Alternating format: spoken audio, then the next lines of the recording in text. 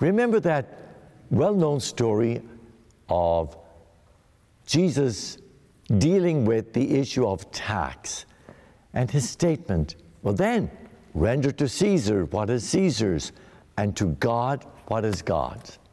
Now, today we vote throughout our country, and we are kind of caught. How do we vote according to our conscience? We have to. And so there's always that struggle.